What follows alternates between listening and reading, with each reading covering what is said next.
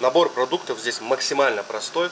Вообще в оригинале чаджангмён готовят из строгой свинины, но мы свинину не едим, поэтому используем говядину. Также морковка, картошка и, собственно, лук. А, вот. Это самый главный ингредиент, это паста чаджаммён. Состав можете прочитать на упаковке, здесь написано, это соевые черные бобы, кукурузный крахмал и рисовая мука.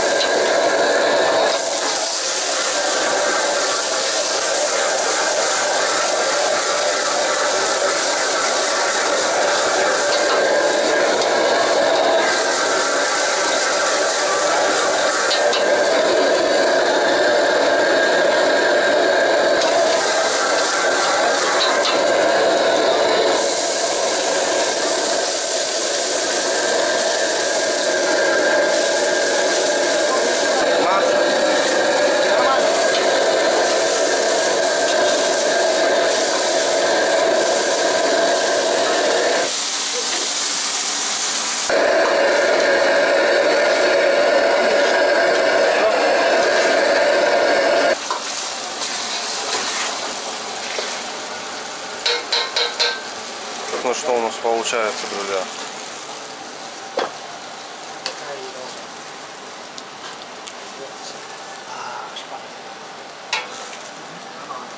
М аромат классный, кстати, мне очень нравится.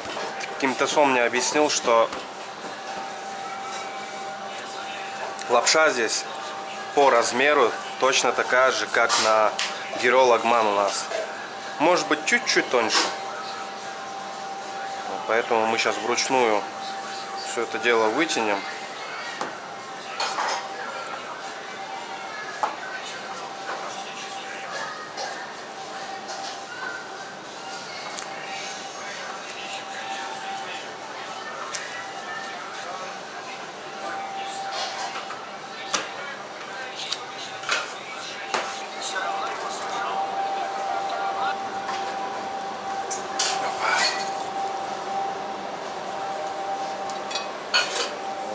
Получается.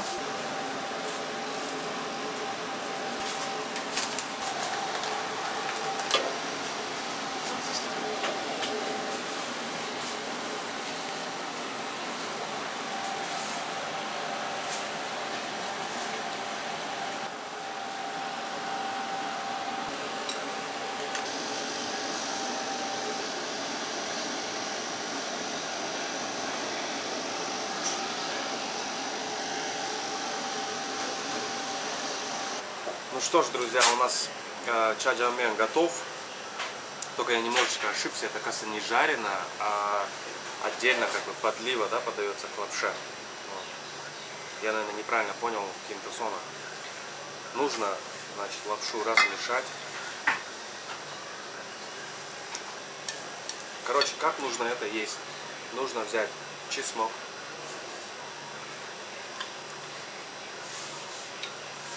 лук с уксусом. Лук крепчатый с уксусом.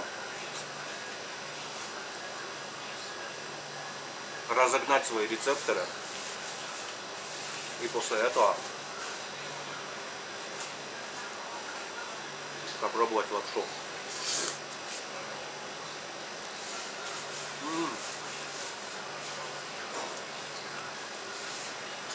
Бомба.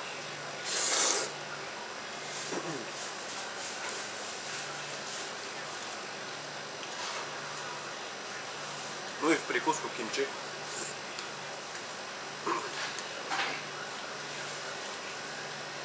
Друзья, это очень вкусно.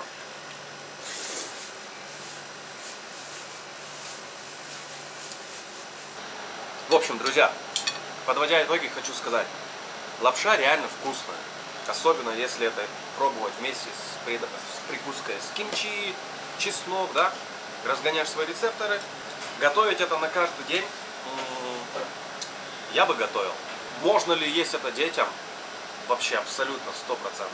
Вредная она или нет, я не знаю, но это интересное блюдо. Поэтому, если вам понравилось, поставьте палец вверх и большое спасибо Ким Тесону. Так что давайте, друзья, э, накидаем ему лайков, комментариев. И если вам понравится, мы будем продолжать снимать выпуски с южнокорейской кухни. Всем спасибо, до скорой встречи.